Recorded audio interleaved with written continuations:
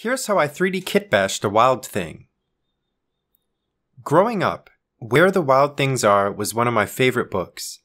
I'm currently making a Forest Sprite Gloomspite Gitz warband, Bad Bobby Brown, Brown to bomb to a bike. and it gave me a great excuse to make a wild thing. I've been looking for a good bear file for a while for this kitbash, and Mammoth Factory Games just released this awesome owl bear miniature. I opened it into Blender and started sculpting.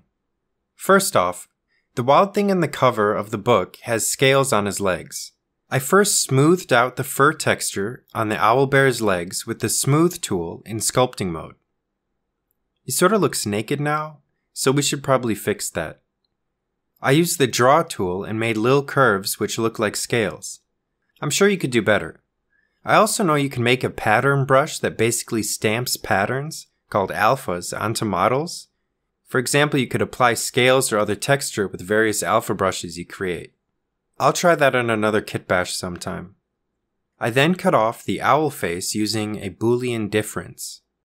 I also added big claws on his feet and horns on his head by importing this Tide Hunter head, going into edit mode, separating by loose parts, and then moving and scaling the horns and claws into place. Nobody has to know that they were originally teeth. To match the rest of my forest sprites, I made a special Wild Things mask in Blender. I have a tutorial on how to convert a drawing of a mask into a 3D object if you're interested. Long story short, I drew the mask in Illustrator, exported it as an SVG, and then converted the shapes into meshes. I printed the mask and body separately, completing the digital part of the kit bash. To attach the mask to the flattened face, I use some green stuff and press the mask on. The gaps around the edges are fine. Next, we're going to make some green stuff leaves to create his mane. I followed Last Light Creative's tutorial on making feathers and leaves.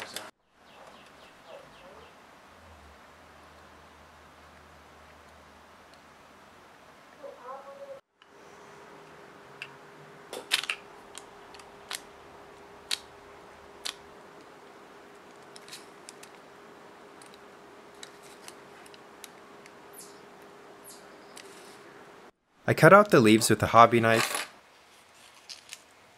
and superglued them around the mask until all the leaves were in place.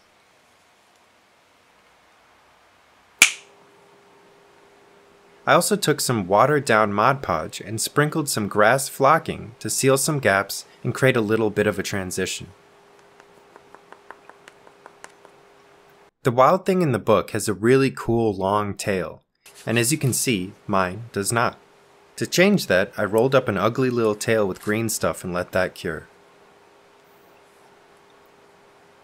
After the tail cured, I took a cotton ball, stretched it out a bit, soaked it in watered down Mod Podge, and shaped it around the green stuff tail.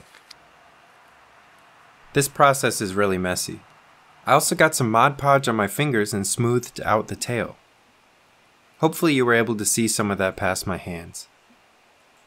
The cotton ball and glue method actually turned out way better than I was expecting. It gave a nice texture and hardened really well. If you want it to be a little more durable, you could always coat it in another layer of glue after it dries. I also sanded down the connection point at the base of his tail because I thought it looked kind of gross. And like that, it's time for paint.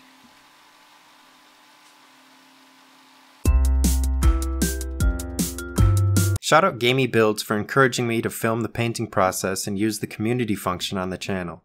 Also, thank you to everyone who voted on the poll. I'll try to use that stuff more often.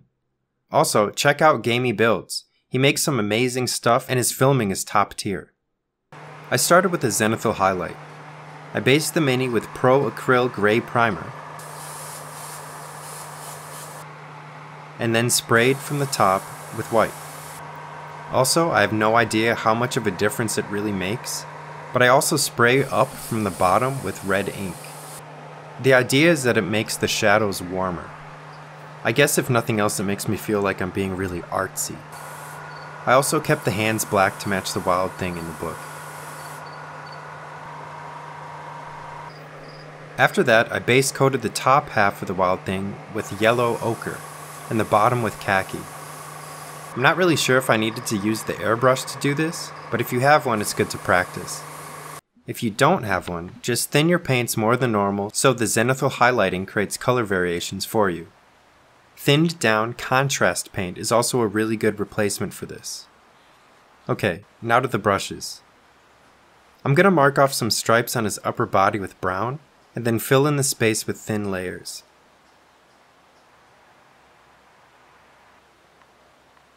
A couple layers later, it looks like this. I also filled in the gaps with more yellow ochre to boost the contrast and make the stripes more noticeable. I randomly painted the feathers on his arms with the brown and yellow colors. Then I strengthened the khaki color on the scales. The art style in the book has great dark line work, and I wanted to try to replicate that a little. I dry brushed black onto the hands and the scales and painted the tail black.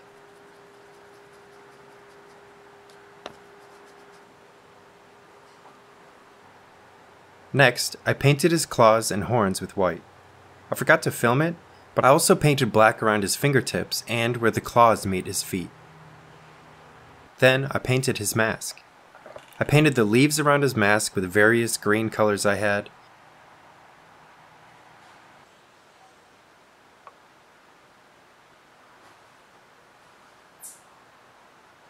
And painted the wood with a thinned down burnt umber.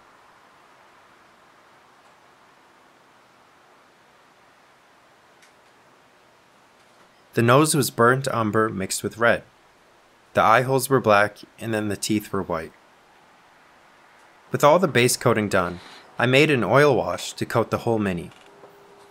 To do that, take some white mineral spirits and put it in a cup. Then add some oil paint. I used one part brown and two parts black. I just measure using this metal sculpting tool. I wanted this to be kinda subtle, so I used a good amount of mineral spirits, about one squeeze of a pipette full. I used an old brush to apply it let it sit for a few minutes, and then used a small old brush to wipe it off the raised areas.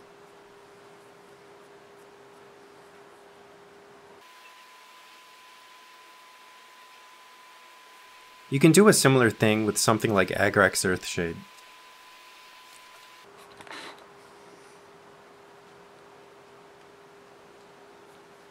I then went around the whole mini and highlighted everything. The leaves I highlighted with green, mixed with model color buff. And then spot highlighted with white. I went back over the claws and horns with white.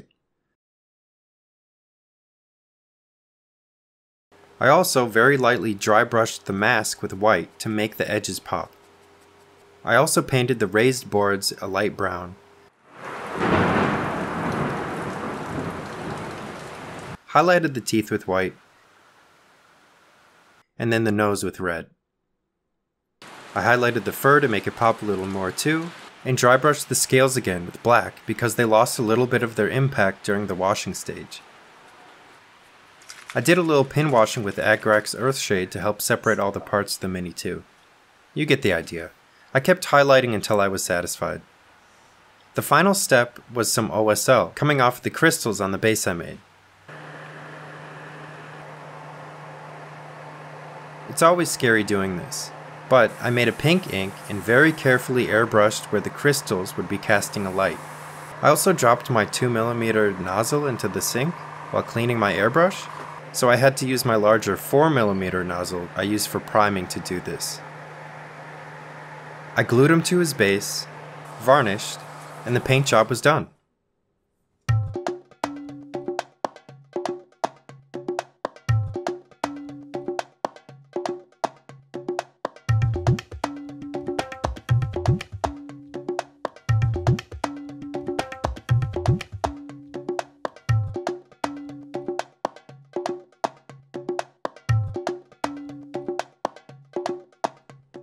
Thanks for watching. If you enjoyed, feel free to like and subscribe.